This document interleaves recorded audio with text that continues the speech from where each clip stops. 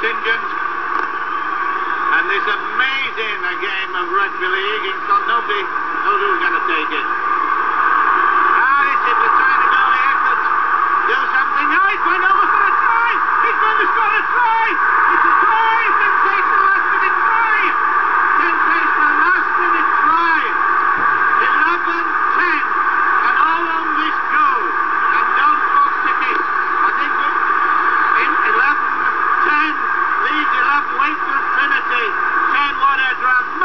finish.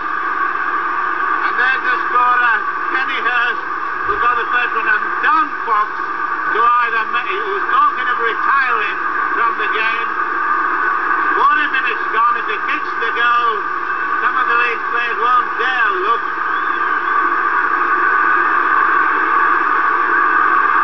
It's not a hard shot, but it is. It's always a hard shot when the match depends on it.